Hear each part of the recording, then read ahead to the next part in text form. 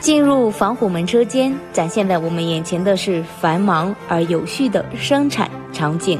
首先，让我们来到防火门生产的门框制作工序。大家看到铁板从进料开始，就来到冲孔工艺。工艺包括冲锁孔等多种部件孔件的冲压，然后再经过折弯、混压工艺，门框就初具成型，去到了下一工序。我们公司的这套门框制作设备是目前防火门生产工艺当中最先进的智能生产设备，相比传统设备减少了多个工艺流程，门框从铁板进料到滚压成型一次完成，大大提高了生产效率，节约了人工成本。您有了解到吗？好，今天的讲解就到这里，我们下集再见。